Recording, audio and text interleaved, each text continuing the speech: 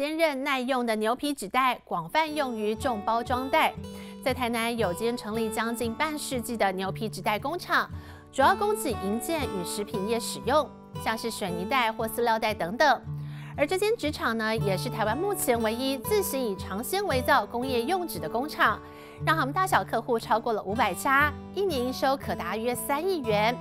目前这家老厂已经传承三代，但第三代的廖佩玲在接班前，确实经历过一场血淋淋的股权大战，是爸爸在病床前的叮嘱，让年纪轻轻的她坚强地扛起一切。来听廖佩玲如何挺过接班挑战。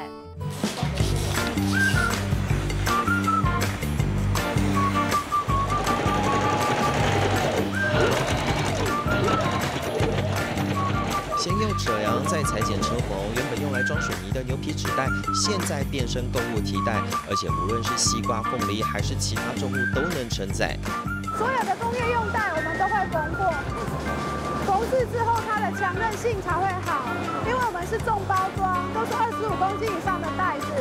然后它缝制之后，它如果用粘的，它可能它强度不够，那我们用缝制的话，它强度就很耐用性。因为做的牛皮纸袋是装水泥、装各种重物的，所以不能破包是基本的。台南这间经营将近半世纪、专做工业用纸袋的纸厂，善用特性，让原本专注土 B 的纸袋也能进入土 C 市场的可能。比如说我哪一家客户的，就送给哪一家客户，好就送送送啊，就有一些客户。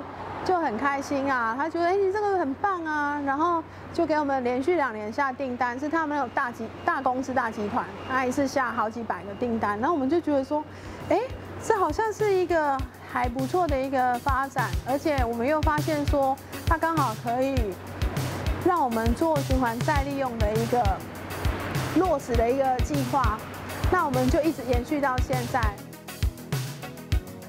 创意小屋虽然大获好评，可要获利还是有很大空间要努力。这是廖佩玲打心底就知道的。不过还是要坚持下去，是为工厂找到新发展，也是想让这间爸爸耗尽一辈子的心血结晶被更多人看见。我记得那时候是开股东会的时候，不适合坐这个位置，而且不适合就是呃拿跟我爸爸同样的薪水。曾经有发生过这种事情。我已经做三年了。对对对，会的会的会的，因为我们这是正式选举，选举的时候是很激烈的。然后我妈妈在下面，我发现我妈妈的脸色是很难过的。我在盯着她，因为我不知道哪里来的肾上腺素，我就觉得，啊，我明明就很努力，我拿出来成绩单很不错，所以我就很很淡淡的跟他们讲说，呃，那个财务报表在桌上，哈，欢迎大家就是这样看，如果有哪一个月份或者是哪一年，就是我的效益是比前任。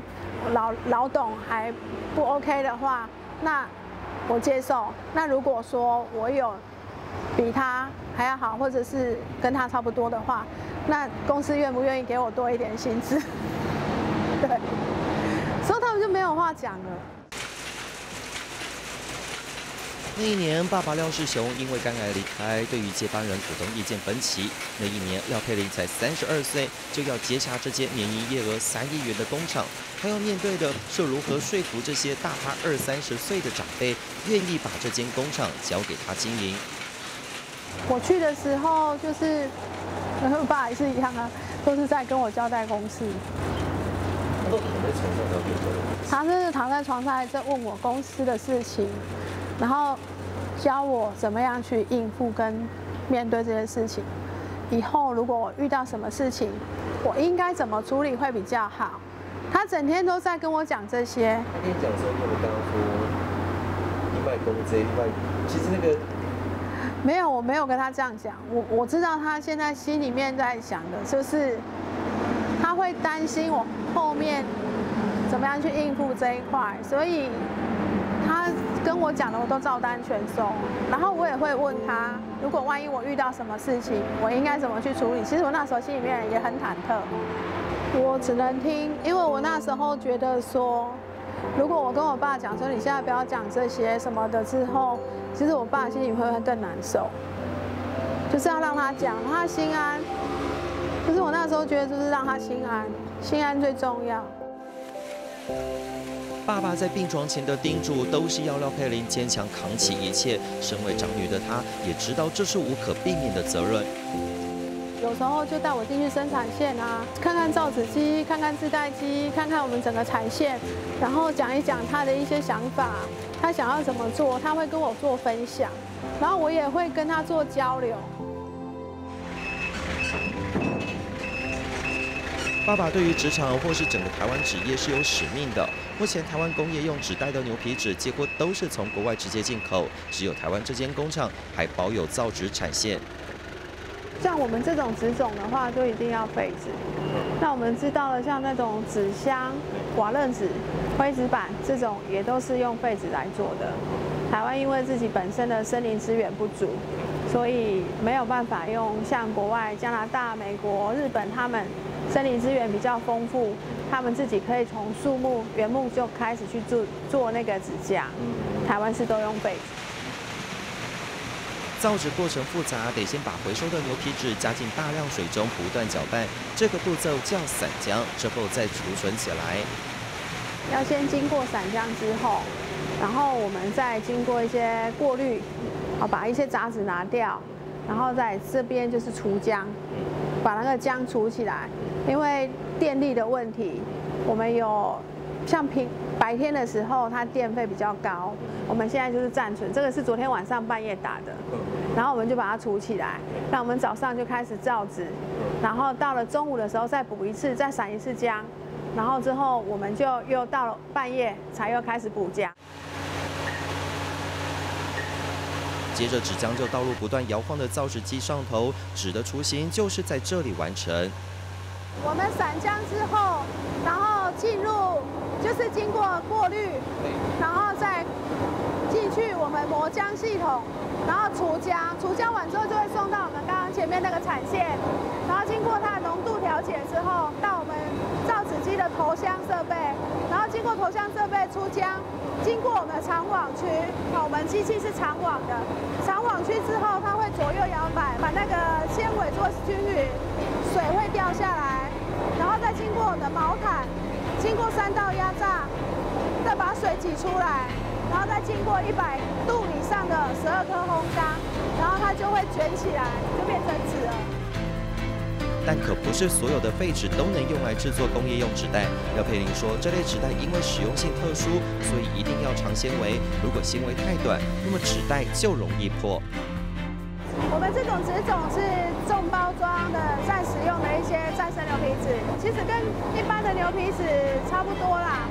它是，但是是工业用袋在使用的，它的纤维很长，所以它的耐重力跟那个韧性也很好。现在有做这种纸种的，只剩下只剩下我们在做，已经没有人在做了。我们这种纸种啊，就是其实现在造纸啊，环保成本蛮高的。第一个环保成本高，第二个人力的部分，可能有一些人他因为传承的问题没有做好，然后就没有人力再继续做这个纸质。烘干好的纸张，接着就是再裁切印刷，就能成为纸袋。我们做好的纸，然后依据我们客户的要求，他的订单，他要一层就一层，两层就两层，我们最多就可以做到五层，五层的多层纸袋。然后完全都是客制化生产、订单式的生产。然后我们上架之后，好上我们那个造纸机的后面的上台之后，然后之后就可以变成我们的半成品。我们的自带机是有印刷台的，它是一体成型，所以它是上机之后，我们放上去我们的反面，然后之后它就是整个都会定制好，然后就完成袋子。但这样的纸袋还不能交到客户手上，一定还要缝边强化，才不会破掉。纸袋制作工序看似简单，却有无法忽略的环节。例如廖佩玲要从父亲手中接下这座工厂时，先要掌握的就是工厂每一个员工的心，尤其是老陈。第一年的时候，先取得信任，然后就已经开始在收集，说我要从哪边开始着手去做改变。贼贼呀！哪个员工是什么样子的个性？所以，我们这边的员工基本上我都大概每个人的个性我大概都了解。然后，这个人可以吃软，这个人不吃软，他吃硬。